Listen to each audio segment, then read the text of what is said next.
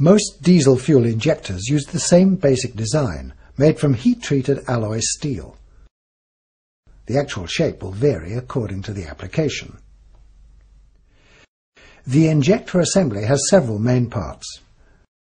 The nozzle assembly is made up of a needle and body. A pressure spring and spindle hold the needle on the seat in the nozzle body.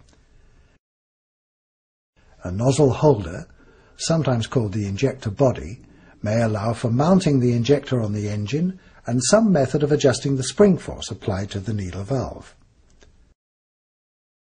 A cover keeps out dirt and water. The injection pump delivers fuel to the injector.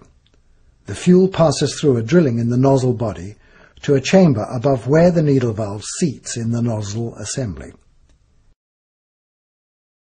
As fuel pressure in the injector gallery rises, it acts on the tapered shoulder of the needle valve, increasing the pressure until it overcomes the force from the spring and lifts the needle valve from its seat.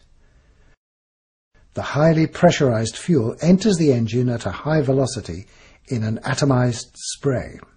As soon as delivery from the pump stops, pressure under the needle tapered shoulder drops, and the spring force pushes the needle down on the seat, cutting off the fuel supply to the engine. Some of the fuel is allowed to leak between the nozzle needle and the body to cool and lubricate the injector. This fuel is collected by the leak-off line and returned to the fuel tank for later use. There are two main types of injector nozzle, hole and pintle. Hole-type nozzles are commonly used in direct injection engines. They can be single-hole or multi-hole and they operate at very high pressures, up to 200 atmospheres. They give a hard spray which is necessary to penetrate the highly compressed air.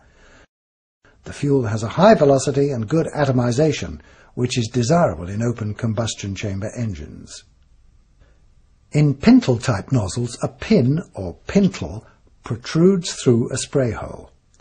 The shape of the pintle determines the shape of the spray and the atomization of the spray pattern. Pintle nozzles open at lower pressures than hole-type nozzles. They're used in indirect injection engines, where the fuel has a comparatively short distance to travel and the air is not as compressed as in the main chamber.